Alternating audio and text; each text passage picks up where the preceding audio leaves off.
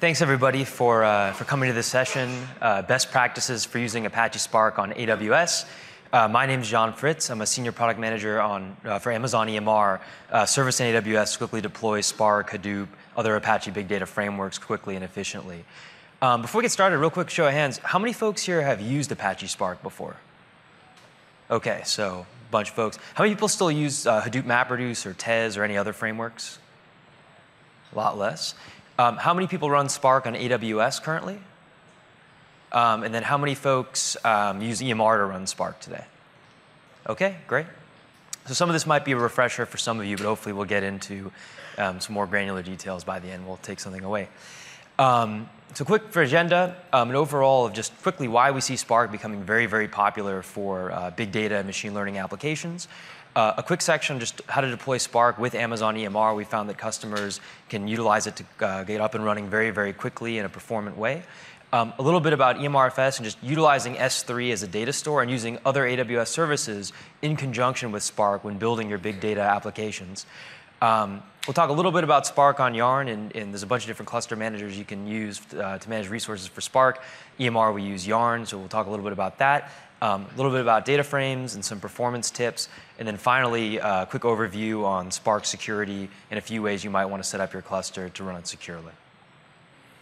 Um, so Spark, you know, Spark uh, is becoming uh, very, very, very popular. The code base is moving quickly, um, and people have been shifting their applications from using things uh, more like Hadoop MapReduce to using Spark instead as an execution framework um, and just overall gaining popularity. And there's a couple main reasons why. And the first reason, it's fast. Um, it's massively parallel like many of the other frameworks out there, but instead of say a traditional MapReduce framework that shoehorns things into a MapReduce uh, sequential uh, uh, sequence, it uses a DAG instead. It's just much more optimized in plotting an efficient query. Um, it also minimizes I/O. So instead of writing uh, to disk after each stage, it can store things in a data frame, RDD, um, you know, distributed in memory cache. Um, and that makes it fast because you can run sequential operations without incurring an I/O cost.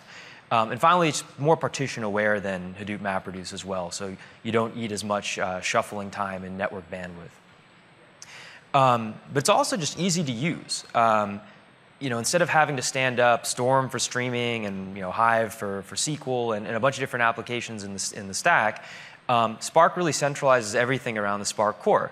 Uh, if you want to run SQL, you've got a SQL interface, Spark SQL.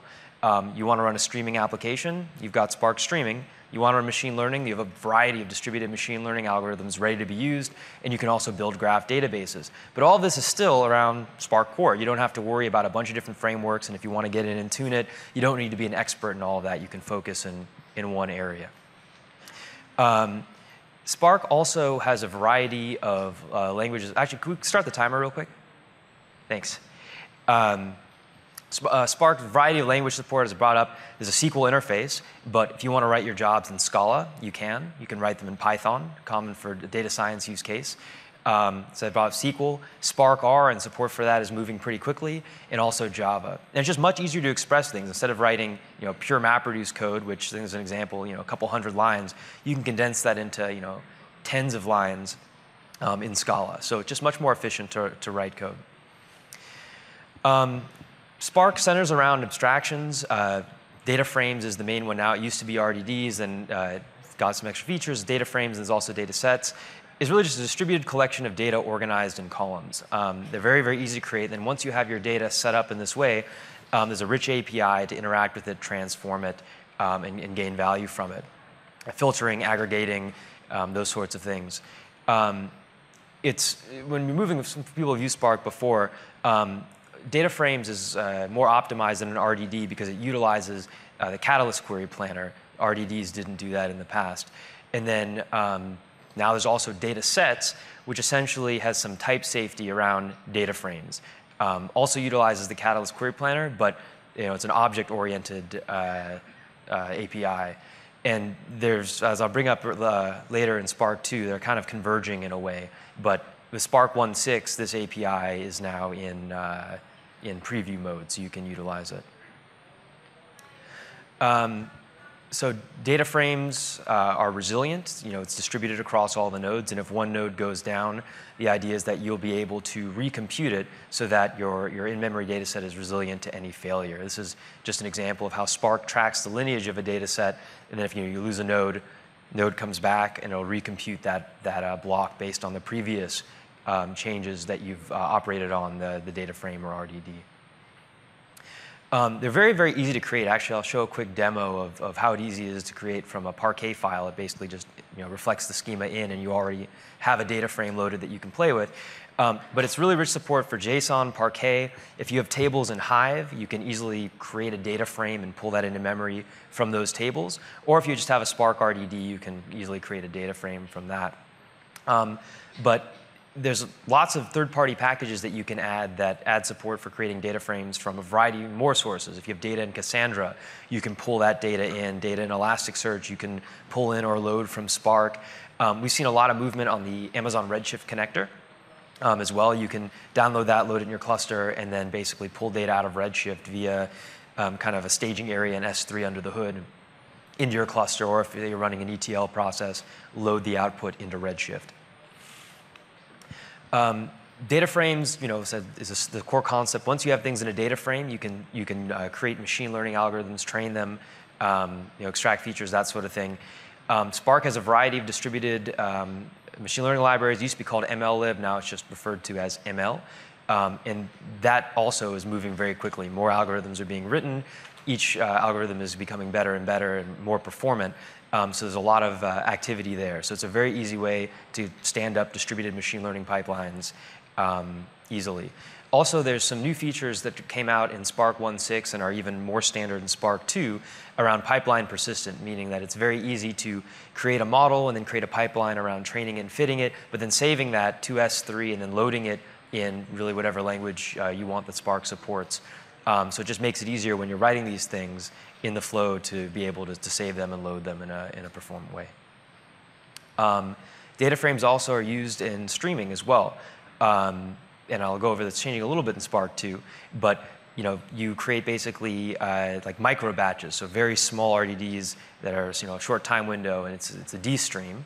That's what it's called, and um, you know you're able to basically write uh, your jobs on these kind of incremental micro batch data sets um, in a similar way that you could write it in batch. So it's actually Spark is adopted a lot in Lambda architecture where you have a streaming layer and an at-rest layer, mainly because it's very easy to write a job that can interact with both of those data sets. If you think of like an incoming stream as an infinite table, and then uh, your at-rest data um, that's static as uh, you know a discrete table, and being able to join the two. So we find that as a, as a common use case, but once again, because everything is around the same core, it's very easy to write um, you know, a processing job that can use both a stream and static data sets. Um, I brought up Spark R. Uh, Spark R is a relatively uh, you know, new uh, uh API in uh, Spark.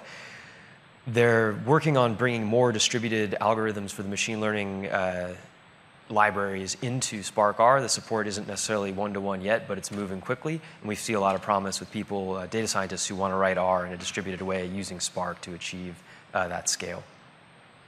Um, I brought up Spark SQL. Uh, you know, once you cache things in a data frame, you can get very, very low latency access to it, lending itself really good to, say, a, a BI query um, or you know, data science in that way. And a lot of that work is still done with SQL. Um, and you can also you know, store, store your schema in a Hive Metastore, which is also a ubiquitous way to store almost like as a data catalog. Um, and you can connect via JDBC and ODBC with Spark Thrift Server. Um, you can use you know, a variety of interfaces, but we're seeing that becoming very popular um, with SQL developers who want low latency access um, to large data sets. Um, so Spark 2, I brought that up a little bit. Right now, uh, the latest GA version is Spark uh, 162, but Spark 2 is in the voting phase. There's been a few release candidates that come out. Hopefully, uh, the community will vote on it soon, and it will be announced GA in, in the coming weeks. Um, EMR is, is, quick on supporting the new Spark version, so you know, after it's GA, I'd, I'd expect to see it in EMR uh, soon after. Um, a few changes in Spark 2, and um, you know, if, if, you want to start playing with it, you can pull down uh, the release candidate and actually bootstrap it on an EMR cluster or just you know, play with it locally. Um, there's a few interesting updates. One is SQL support has gotten a lot better. There's a new ANSI SQL parser. Um, data frames and data sets have, the data set portion has um, moved, moved a lot from 1.6 to 2, and it's now being united essentially with data frames. I think data frames is now going to be like a subset of data set. So instead of having these two separate APIs, they're now more merged. And actually, it's the same thing with the Spark context and the Hive context. Before, if you wanted to use the uh, Hive QL with Spark, you'd create a Hive context, which made it easier to say port your Hive jobs over to Spark. Now they're merged, and you create just one, and Spark will decide um, what mode to use. Um, better support for Spark R, new algorithms are included. Um, and the ML pipeline uh, persistence, which is really integral in when you're developing pipelines, being able to save and iterate on them, um, wasn't supported in all language, and now it's more ubiquitous in the Spark ML uh, feature set. Uh, Spark 2 also is shown to be a fair amount faster. Uh, it's a second generation uh, engine that's now uh, creating a bunch of custom code per job um, so a lot of low-level operations are running much more quickly. Also, just the general query planner, there's been improvements there, and there's a, a few other things like a vectorized Parquet decoder to improve throughput when you're pushing things down and reading parts of uh, the Parquet file format, uh, different columns. Um, and a final big change is kind of a revisit of Spark streaming. So as I brought up before, um, you know, you, you use, utilize the dstream and you wrote jobs that were kind of a little bit separate from, from, your, uh, from your batch jobs, although there, there is close interplay, and that's what makes it good for building a Lambda architecture. Structured streaming is basically rethinking it on, you know, how can you make it almost opaque to a user, um, whether they're writing a data uh, processing job for batch or streaming, and really build kind of hooks that the same job really could be used for both. If you think about streaming data as, you know, a table that's just a dynamic table in nature versus a static one. So there'll be a lot more coming there over the uh, uh, subsequent releases of the Spark 2 branch. Um, so there's a little bit of overview on Spark. I'll go into a little bit on uh, creating uh, Spark clusters quickly with Amazon EMR. What we found in AWS is, you know, it's, it's really great to prototype and build applications and then move them into production. And speeding that process up means, you know, quicker return on data coming in, being able to utilize your data better, build uh, stronger businesses with more insight. So speed is important and ease of use, and also spending more time developing uh, your applications instead of worried about you know, standing up Spark, managing Spark clusters, and that sort of thing. Um, you know, we've, we've, seen customers use EMR and comment on several areas of, of where they found value easy to install and configure Spark. Um, and that's one thing. If you want a Spark cluster in you know, around five minutes with a notebook interface, you can click a few buttons and you've got one, and you can scale it out to, to thousands of nodes. Um, also, it's easier to, to remove capacity and, and uh, add capacity depending on you know, how many nodes you need running, how much memory you need for a data frame, how many cores you need, that sort of thing. Um, there's a variety of different ways that you can uh, interact with the cluster, and I'll go through a few when thinking about how to build these pipelines. You know, do you want a long-running cluster that's always up serving requests? Do you want to leverage a transient architecture? Um, you know, there's a bunch of different options there. Um, variety of different ways to save costs using, um, you know, in the end, you're, you're running on EC2 and you have the, avail- uh, the ability to use the different pricing models there are for EC2. Um, secured, we'll go over some of the security features at the end. And then finally, just the general idea, and sounds like a lot of people here are running Spark on AWS, so it sounds like I'm preaching a little bit to the choir, but on using S3 and decoupling your storage layer from your compute layer. Um, and I'll talk about that a little bit more as well. You can save costs, increase the durability of the data, and not need to over uh, provision a cluster for HDFS. Instead, you only provision the compute you need to uh, run the processing that you need to do. Um, so create a, uh, EMR create a fully configured Spark cluster in a few minutes. There's an excerpt from the console. Um, we have a, that's kind of the quick create easy page. It's just one thing, a few options, you hit go and you have a Spark cluster. We have a more you know, in-depth way of uh, UX of, of configuring these things as well. But if you don't want to deal with any of the custom stuff, you can just get a cluster with Spark.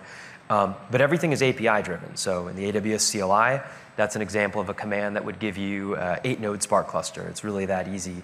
Um, or you can uh, use the SDK and build your own programs that call and create and submit work to Spark uh, clusters running in EMR as well. Um, EMR supports a variety of different instance types, and actually that's uh, you know, one of the advantages of AWS is the, the um, many different instance types you can choose to really tailor um, the hardware to your workload. So you know, we see people running Spark on all of these uh, instance families. We obviously see a lot of R3 because it's um, the memory optimized instance type. So if you want to cache a large data frame, that's a that's a very efficient way to do it. But we do see some people just running you know M M3 M4 because they have a processing job. They don't need to cache the entire data frame. They don't want to pay for it, and they just want to use more general hardware to go run it. So um, we see a, a, lot of different um, instance types uh, being used. Um, it's worth mentioning here that also EMR integrates with EC2 Spot. Um, actually, how many people here are familiar with the EC2 Spot market uh, bid pricing? Um, that's great. EC2 Spot allows you to bid for capacity, and assuming that uh, the market price, which is a dynamic price, um, is lower than your bid price, you'll get that uh, hardware for the price that you bid. And oftentimes you can save up to 90% on your underlying compute costs. Um, one thing to note is that if the market price goes above what you bid, um, the Spark market will reclaim that instance um, from you. But because Spark um, you know, is a distributed system and can handle node failures. If you have a mix of on-demand instances where you pay uh, you know, an hourly rate and no one's going to take it away, um, and spot, you can oftentimes save a lot of money but still have enough availability to run whatever job you need to, or you just rerun the job. Um, a variety of options we see customers submitting uh, Spark jobs in AWS. Um, if you're running an EMR cluster, um, EMR actually has an API called the EMR Step API, which is a sequential, um, basically add job API. You can call the EMR API and say add step, here's where my jar is in S3 with my application, run it. And EMR uh, service will grab the jar, give it to Spark on the cluster, Spark will run it, and you know, then the output, uh, you can say, you know, if this job uh, succeeds, then go to the next one. There's a bunch of different um, uh, settings you can put on what happens at the end of that job. That's a very, very easy way. It's also if you're running a transient architecture by spinning up a cluster, you know, a couple minutes it's up, you run the job and want to shut it down, you can uh, embed uh, in your create command a bunch of steps to basically create a process of create the cluster, run all these jobs, and then when it's done, shut everything down. So that's one very common thing for just routine batch processing. Um, another way that we've seen customers uh, launching Spark jobs is using AWS Lambda. Um, in the case of EMR, you can tell Lambda to submit a step to EMR, or you can have Lambda actually interact directly with the Spark API on the cluster um, using SSH. Um, Lambda also has uh, like time-based things as well. So if you have a workflow you want to kick off at you know noon every day, you can tell Lambda, hey, do this job at noon and it'll go work. So it's a very, very um, easy way to set up kind of easy uh, workflows. Um, but if you have a more complex workflow, um, like you know run a Spark job and then uh, wait for another job to finish and then you know join the two with another job um, that you need to draw out. Um, we, you can use AWS Data Pipeline, which is another uh, AWS service where you can draw complex workflows and have conditions on, you know, when things upload to a bucket, then kick this thing off. So there's very, very fine granularity on the different types of workflows uh, you can create. Um, but we also see customers using a variety of other tools running um, off of the Spark cluster and you know, either provisioning Spark clusters or interacting with others. A few popular ones are Airflow, which is Airbnb's open sourced uh, workflow designer. If, if, you haven't seen it, I highly recommend it. It's a very powerful tool. Um, Luigi and there's a variety of other uh, you know, workflow designers as well um, that, that uh, we've seen people use. Um, there's a few options actually on the cluster as well, though, um, and all these are, are, pretty easy to install in EMR uh, with a couple of clicks. Uh, one is just using web UIs. Uh, we ship Zeppelin with EMR. Zeppelin is an open source uh, notebook tool, and actually I'll, show it on the demo in a minute. Um, but it, you know, there's rich visualizations on results. You can collaborate on it, um, export notes, load notes, save it to S3. So it's a very versatile tool. Um, but you can also install things like RStudio that uh, screenshot there is from the AWS Big Data blog about a post doing geospatial analysis with Spark and Spark R on EMR, and they hooked up RStudio. You can you have root access over all the nodes. You can do whatever you want. You can install whatever uh, components you'd like. Um, if you choose, you can also install Oozie on EMR. Oozie is uh, has been around for a long time. It's the Hadoop you know, workflow orchestrator tool. Um, it does have support for Spark. Um, so if you have a complicated DAG of Spark jobs that you say want to run at a regular rate, you can define that in Oozie either in an XML or using the Hue interface. Um, and Hue, yeah, using the Hue interface and, uh, and run those as, as, you, as need be. I brought up before you can connect to Spark and submit jobs via ODBC and JDBC using the Spark Thrift server. Um, in the case of EMR, we actually have the Spark Thrift server on the master node of the cluster, we just don't start it because it'll automatically create a Yarn application. And for people who don't want to use the Spark Thrift server, they might not be happy that there's a, you know, a Yarn app being forced on them. So it's quite easy to start. You just run that command and it'll come up and then you connect um, via the driver that, that you'd like. Um, and there's a variety of other things too. The community's really adopted Spark and has built um, you know, many different job submission, uh, I guess, applications that you can use in conjunction with Spark. Um, Spark Job Server is a popular one, originally open sourced by Ooyala. Um, and that almost gives you a REST interface and also the ability to share um, one of these cache data frames among a variety of different users, which, which, is useful if, say, you have a bunch of different teams that all want to access the same shared data set. That's an efficient way to, uh, to architect that. Um, you can just use the Spark shell. Um, there's another job server called Livy, which um, is used in oftentimes in conjunction with Hue that's being developed. So there's a, a variety of different ways um, to, to interact with Spark and submit work. Um, so mon for monitoring debugging, um, if you, if you choose to run Spark on EMR, uh, you can select to push the logs to S3. So if you run, the idea is, you know, you might want to shut your cluster down after a job so you don't have to pay for it, but we don't want to penalize you by, say, deleting all of your logs. So we push the logs to a bucket you specify in S3 so you can see what happened after your job is completed, and you can, you know, browse them in the EMR console. Um, but we also have the Spark UI available, which is just the open source front end. Um, and it's pretty powerful. It shows you uh, visualized um, you know, graphs of the performance, but also when certain executors kick in, shows you the logical query plan. There's a lot of, if you want to get into the details of what happened in your Spark job, the Spark UI is typically a good place uh, to start. Um, we also have Ganglia for monitoring CloudWatch metrics. There's other tools as well if you decide that you, you do want to go into the details and, and tune your cluster or debug things. However, if you don't, um, you know, EMR configures everything off the bat, so you should be able to get some mileage out of Spark without even having to touch anything. Um, as I mentioned in the beginning, Spark is being adopted all across the board for a variety of different use cases. Here's some uh, customers who are running it on uh, EMR today. Um, Yelp's doing machine learning and ad targeting, ranging to uh, GumGum doing revenue forecasting, uh, Krux for personalization, uh, Crowd, uh, CrowdStrike, which is basically running through logs to find patterns to see if there's any um, threats. Uh, so a variety of people just leveraging Spark for uh, big data use cases. Um, one, one thing that we see a lot of is Kinesis to Spark streaming.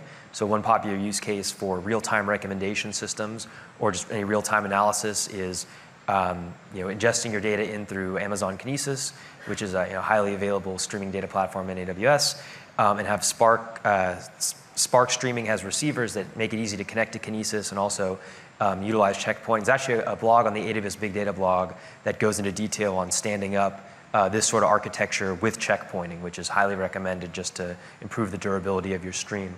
But you know, data comes into Kinesis and you run you know, a windowing function or some sort of um, you know, real-time rollup function in Spark, and then you can load the extract into Redshift. You can write it out to S3 for further downstream processing.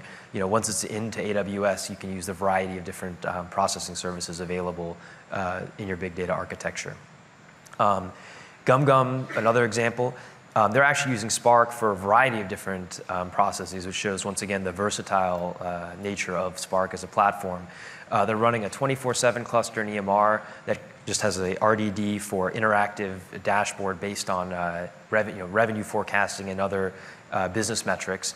And because it's cached in memory, it's always there. You can get very very low latency to populate uh, dashboard at interactive speed. Um, but they also just have a bunch of clickstream logs coming in. Those logs enter S3, and then every so often they'll kick off a Spark cluster. It'll be up in a couple of minutes. They'll run an ETL job, transform the data, um, and then load it into a Redshift table, the aggregates, um, you know, for their data warehouse uh, about customer behavior. Then finally, because they're pushing all the data into S3, um, they can run experiments, understand whether it might be worth, say, standing up a new production workflow, what insights might it drive, and they've armed their data scientists with the ability to just create a transient Spark cluster, start playing around with the data and see what they can find, but they shut it down when they're not using it, so they don't have to be fully invested in running that cluster all the time. They can pull it up when they want to run experiments and then shut it down. Um, final example, and this actually just came up uh, on, the, on the Big Data blog on Friday, I thought it was pretty cool. Um, Amazon.com's personalization team, so our retail website, um, is using Spark on EMR in conjunction with a new deep learning um, library that we release, DSSTNE. Um, and they're actually doing an interesting thing here where they're uh, utilizing Spark on EMR to run the compute-heavy pre-processing workloads, but DSSTNE runs on GPUs. It's not a, a Spark library like MLlib, and they're actually uh, running it in ECS and basically handing off um, the shards from different RDDs to S3, and um, the, the uh, ECS cluster is picking those up and they're running a bunch of these are two different workflows that they have because some things need to run and communicate other things are just very independent and you just scale them out. Um, but but running those um, you know deep learning algorithms on the data and then creating recommendations for the amazon.com website. So very cool blog. I highly encourage reading it.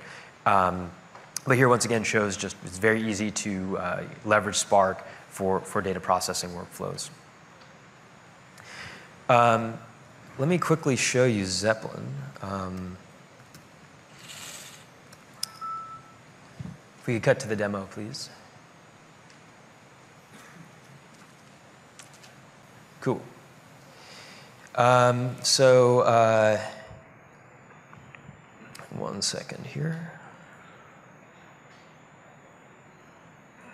That clutter. Um, so, here's a view of the EMR console. Um, and uh, as you can see here, here's a cluster that I uh, created um, earlier this morning, but it took about five minutes to, um, to, to, come up. And uh, as you can see here, it's running Spark uh, 161. Um, and this is uh, EMR 471, so this is the, uh, the latest version of EMR. Um, so I created an SSH tunnel uh, to this cluster, to the master node where all the web UIs are running. And uh, here is the Zeppelin notebook. Um, we have the Spark UI and Ganglia and then the Hadoop Resource Manager. Keep in mind this is running in Yarn. Um, and so I just want to show you real quick just how easy it was. You know, a couple clicks, um, you can set it up uh, literally by going to uh, the create cluster, and you, or I could clone this. Um, if I wanted to create this cluster on the AWS console, I could use that, um, and then just hit run on the console. Um, so Zeppelin here, which is a popular front-end notebook for Spark, uh, just makes it very, very easy to collaborate on Spark jobs and just iterate fast. Um, in this case, uh, there's a data set that I put in S3 of all the flight data for um, domestic flights for the last, I think, 20 years or so. Um, and it's in uh, Parquet file format, so columnar format. Um, and you can see how easy it is. This is an S3, you know, it's actually, there's a bunch of demos on, on the web. You can even load this in your own cluster. It's a, a public data set to use. Um, and just show how easy it is to get in a data frame, you just reference the folder where all those Parquet files are. Um, you uh, then you know, create, a, create a data frame here and then register a table and Spark will infer the schema from it. So I didn't have to enter in you know, one of these like massive Hive create table statements. Just three lines, and now I have a data frame. But then what I can do um, is I can cache it um, here, so now it's all in memory, and then run you know, a variety of different uh, queries on it. Zeppelin has interpreters for the different languages. I chose to use SQL, but you could use um, you know, Python, Scala, you know, whatever, whatever language you feel more comfortable with. But you, know, you can write the notes, here's what's running, and in a couple of seconds, um, you'd get the results. Um, just for completeness, I'll rerun these show that this is live. Um, counting the rows, looks like uh, 100 million rows or so. Um, here's a query that finds the airport with the most canceled flights in the last, since 2000. So if you're flying through Chicago, um, you might be staying there for a bit. Um, the visualization here is pretty rich. Um, there's a bunch of different graphs, uh, you know, interactive, and we found that just it's good to collaborate. You can export this notebook um, and save it, uh, and then give it to somebody else and they can iterate on your queries and, and uh, send it back to you. Uh, quick look at the Spark UIs. This is also running on the masternode of the EMR cluster on, on this port. Um, and as you can see here, you can see all the jobs that have been run. You can take a closer look um, at a specific job. You can visualize the DAG, and you know a lot of this stuff you might not need to go look into. But if say you want to really tune a query, or you're hitting some sort of performance bottleneck, it's a good place to start. Um, you can also get some information on what RDDs you have, or what data frames you have stored. In this case, I've cached around 40 gigs in memory across my executors. Um, you can see what executors you have active. and you can see um, the uh, uh, query uh, plans for SQL queries that you might run here. So lots of details, quick access to logs as well. Um, you can use it or not depending on um, how deep you want to get in to Spark um, and tune your jobs. Here you can see Ganglia, um, which I've also installed. It's very useful for monitoring. You can see here um, the aggregate uh, cluster memory. Um, this is how much I've been using, cache the data frame.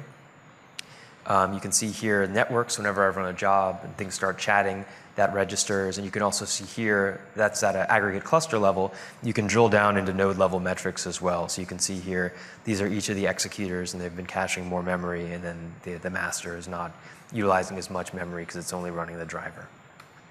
And then um, the Hadoop Resource Manager UI, one, one question is, is because we're running it in Yarn, people wonder where, where is the Spark UI because it's not in Spark standalone where the Spark UI is in the master. And I'll go into a little bit of the Yarn architecture in a minute, um, but it's actually in the application master. So if you're looking for the Spark UI, um, you go here and it'll come up and it's, it's running in the application master process, which is running on a, on a you know, random node manager uh, in the cluster. All right, could we go back to the slides, please?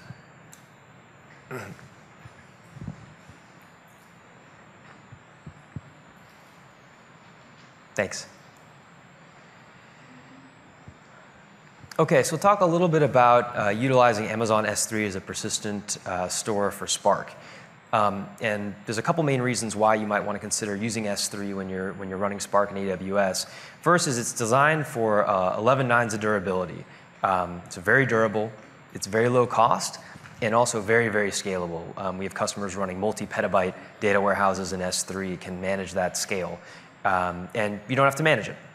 Versus something like HDFS, where you have to keep adding data nodes for more storage, you have to manage uh, your name nodes, and you know you have to then, if you have a HDFS cluster in an AZ, you need to back that up to probably another AZ or S3 anyway. But another important thing is that it changes the cost dynamics of running Spark. So you know, before you need an always-on cluster because you needed um, HDFS always there, because um, that's you know, your data store. And so your cluster's up, and a lot of times you have very underutilized compute um, or memory because your, your cluster's up mainly for the storage capacity. Also, you might have provisioned more nodes than you need because you need you know, extra data nodes to performantly run HDFS, even though you might not need that many cores or aggregate memory across your cluster. Um, so when using S3, you've decoupled the two, meaning that you can have a cluster up or not. It doesn't, you know, when you're not processing anything and you, you know, you're not waiting for an incoming request, why do you need a cluster up and why do you need to pay for it? So it allows you to really separate the two, size your cluster for the, the workloads you need, or even run different hardware for different workloads. If there's a workload they'd be happy running on a, a general optimized instance, you can use something like M3. If you had a workload that requires a lot of memory for large RDD, you could use R3 um, and, really customize the cluster for the workload if you want to get granular. Um, there's a bunch of different S3 connectors. Um, EMR, we utilize a proprietary one, EMRFS. Um, but you know, all the S3 connectors implement the Hadoop file system interface. Um, we've done a lot of testing. I mean, you know, the vast, vast majority of EMR customers are using S3 in some capacity. Um, so, you know, a lot of just incremental um, changes over time, you know, error handling, improved performance. Um, it's transparent to applications. All you do is specify the S3 scheme, and instead of reading and writing to HDFS, you're you know, reading from S3 directly into memory or writing out directly to S3. You're not actually copying any data back and forth before processing. Um, we support a bunch of the S3 encryption features. We'll talk a little bit more about security at the end. Um, but if you're using server-side or client-side encryption, once again, it's transparent to Spark. It's pushed down into this uh, connector level. Um, and then also we have some uh, list consistency features and fast listing as well. Um, a few tips for S3, and this is just general S3 tips, whether you're using uh, EMR or not. Um, to, to get the best performance, uh, one thing you want to do is make sure that you have optimized your list performance. And, um, and you also you want to optimize throughput.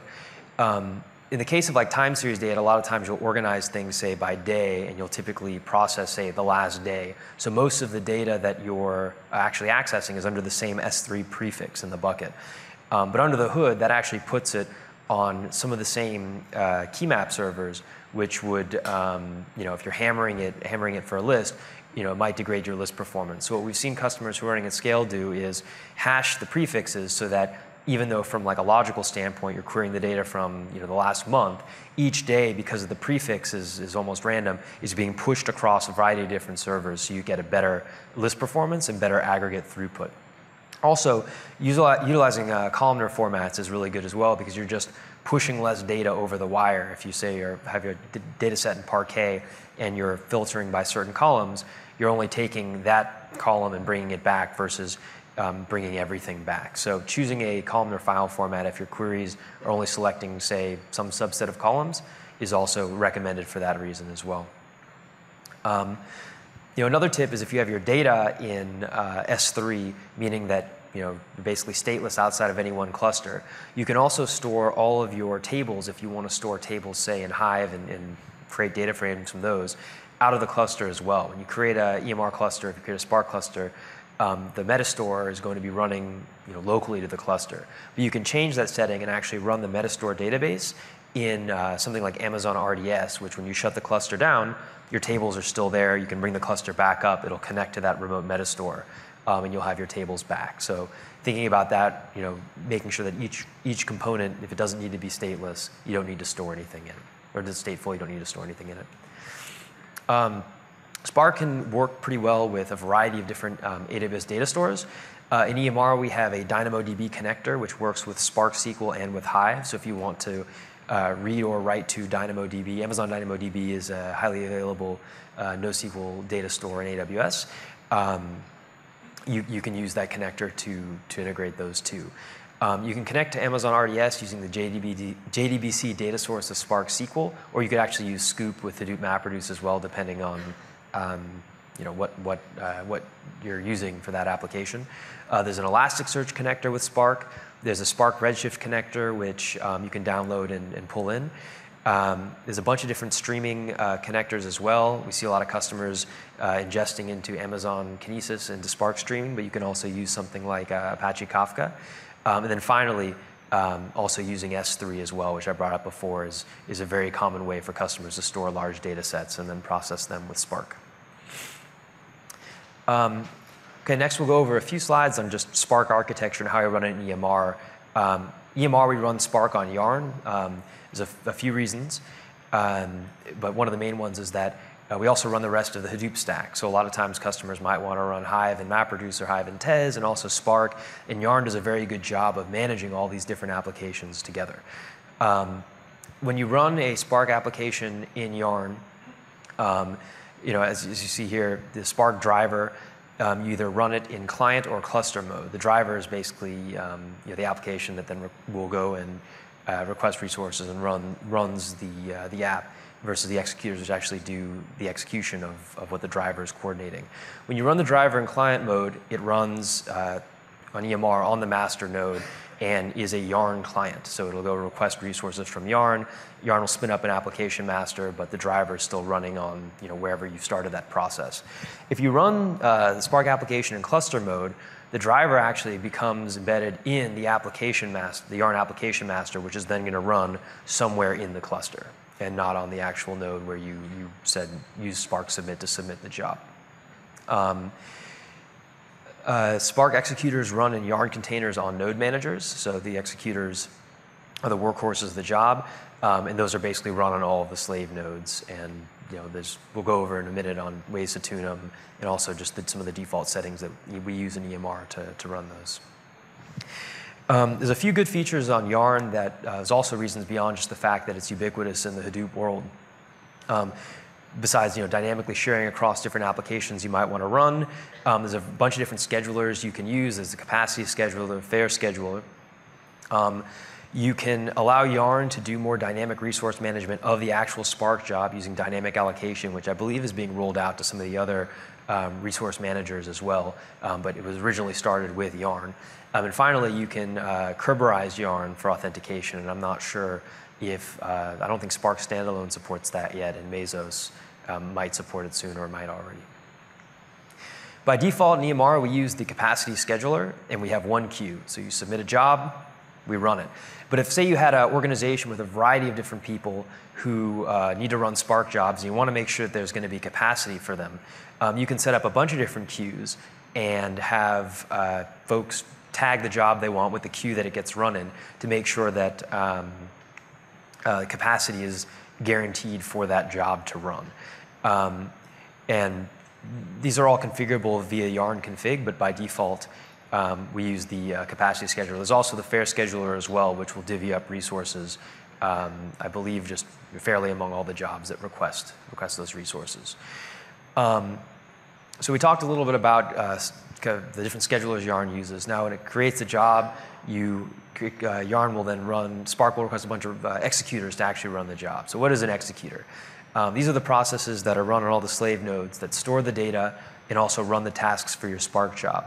Um, they're specific to a Spark application. So when uh, you know Yarn spins up the uh, Yarn app for Spark, um, and you then create another Spark job, it will spin up a new set of executors.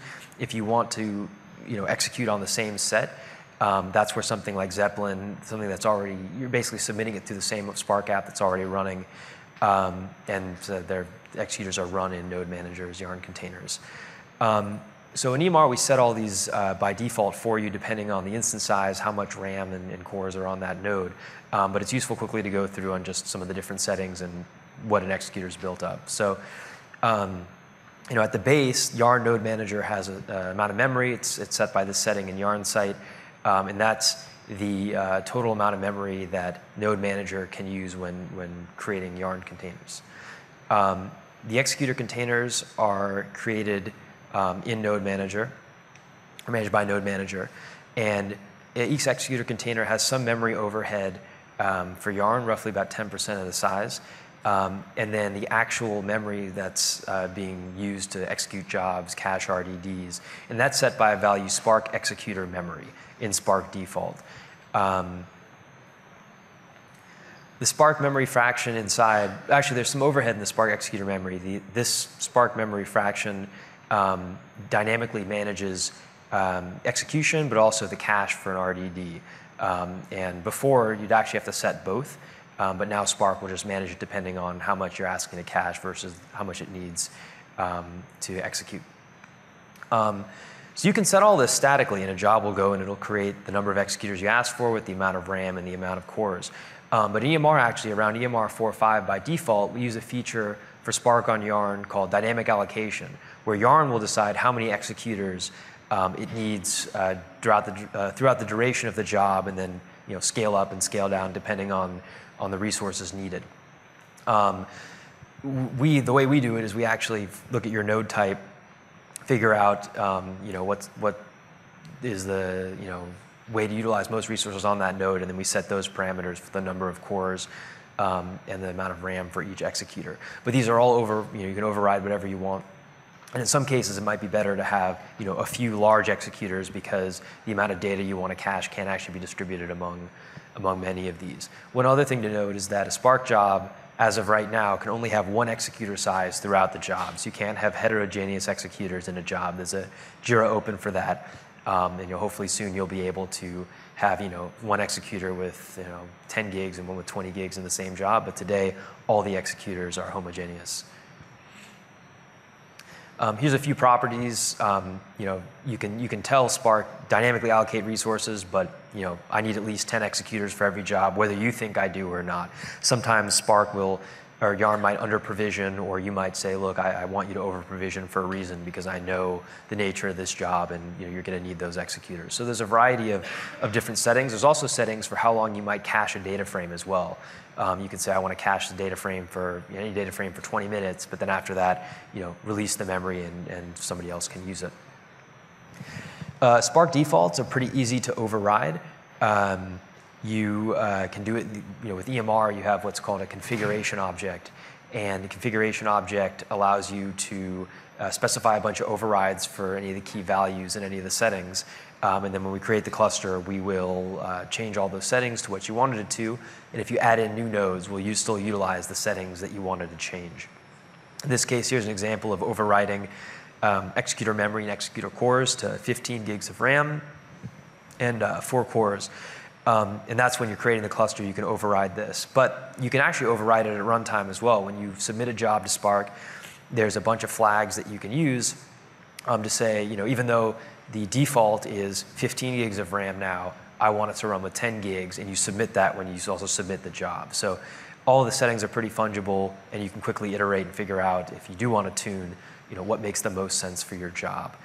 Um, and I said, that there's a few reasons you might want to change things. Um, also, if you knew that you were running one like long-running single tenant cluster, you might just want to have one large executor on each and tell the Spark application to use up, you know, ear- earmark all the resources for my Spark app, and um, you know, it, no one else is going to submit any work, so you're not going to need to like save any for somebody else who's submitting a new job. So there's a bunch of different reasons um, why you can tune, although it's that you don't have to. Um, if you did want to have one large single tenant app, um, we have a setting maximize resource allocation, um, and that basically under the hood does a bunch of math and comes up with what it, you know, the executor settings. If you wanted to run one executor on each instance, you know, is about as large as it can get, um, and then we will, you know, when you submit a Spark app, it, the, the number of executors is set to the number of nodes you have, and it basically will take up all the resources for that one single tenant application. So say you're running a Spark streaming job and you know that you're not going to be submitting any other jobs, that job's been running for a long time, um, you can utilize this to easily just have it configured to create one large Spark app on your cluster. Um, a few tips for data frames. Um, you know, same thing with S3 before. The less data you scan means the less data that you're sending over the wire, which means you know better resource utilization, but also jobs will go faster. Um, more partitions will give you better parallelism. Um, you can adjust that using Spark default parallelism and adjust that setting. Um, a lot of times that will give you a little bit of a performance boost as well, tweaking that setting. Um, and then also just thinking about how you're caching data frames. Um, you can set it so actually a data frame can only be cached in memory. Um, and that's the memory only setting, but you can also have the data frame uh, spill out to disks, but you're going to eat up some I/O cost when when processing it. But all of those are tweakable settings. Also, the default serializer makes a difference. The default is Java, but you can set it to Kryo as well.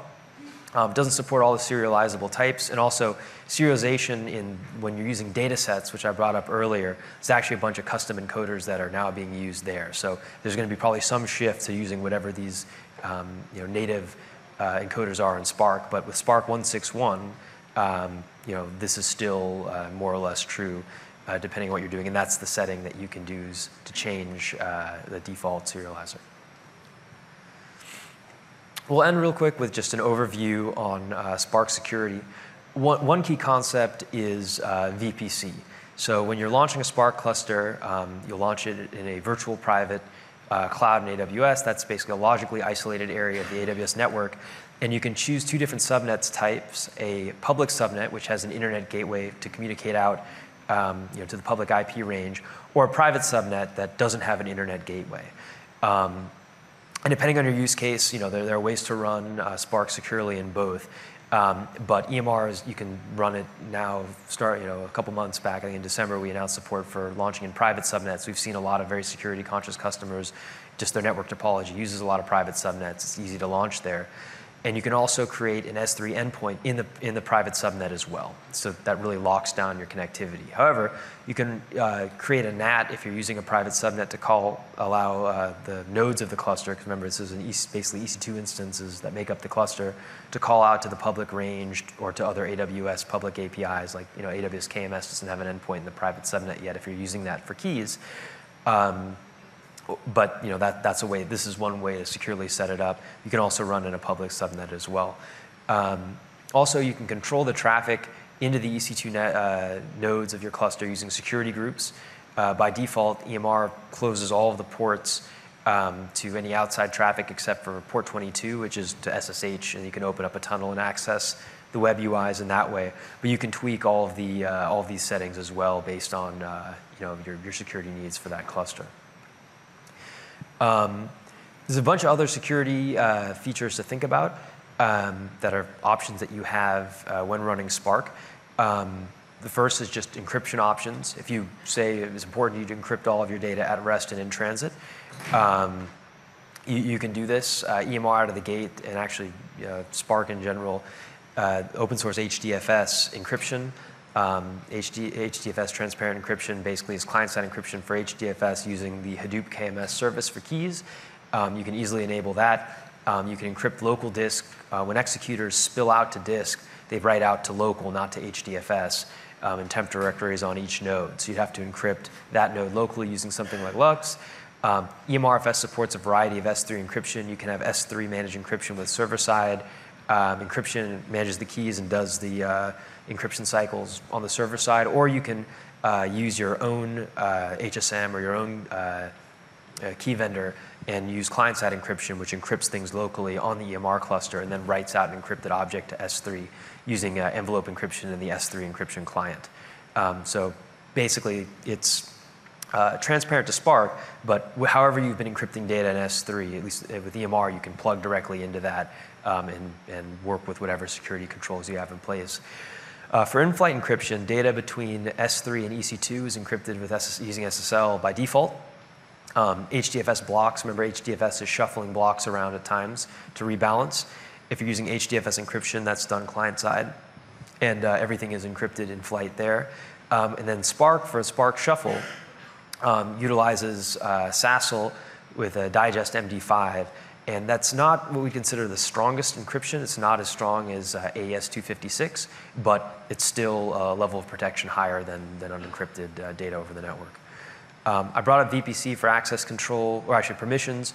Um, you can utilize IAM, which is basically AWS Identity and I Access Management, which uh, gives permissions to AWS resources or users uh, interacting with AWS resources and APIs. Um, so there's a lot of control over locking down, uh, you know, what buckets uh, your cluster can go access in S3. Um, you know, who can create, in this case, an EMR cluster. You can put limits on all of these different things. Um, you can also uh, Kerberize Yarn um, as well. So at the application layer, so when you log in, you know, you can uh, you know, approve or deny people interacting with Spark based on uh, permissions that you give at the application layer as well. Broad VPC and security groups to lock down your network access, also SSH keys. Uh, with EMR, we put an SSH key on the master node, and that's a way to access the Spark API or you know uh, bring up web UIs using port forwarding. The demo I showed you, I was SSH to the master node and was accessing uh, the web UIs on, on that node. And then finally, auditing AWS CloudTrail is a great way to audit um, AWS API calls. So who's creating EMR clusters, who's adding steps, who's creating EC2 instances. Um, all that can be tracked and processed from AWS CloudTrail. Um, and also with S3, um, there are S3 uh, logs which can track who's accessing what object. Um, you know, and even in EMR, we can inject the Yarn application ID to see what I, you know, actual jobs have been touching uh, different objects. Um, that was a lot quickly. A lot of this is in the EMR docs, so I'm happy to talk more about Spark security um, after the session. Anyway, thank you everybody for, uh, for your time. And it looks like we have a little, how much time do we have left? Because we started the timer seven minutes, so we could take a few questions uh, as well. Thank you.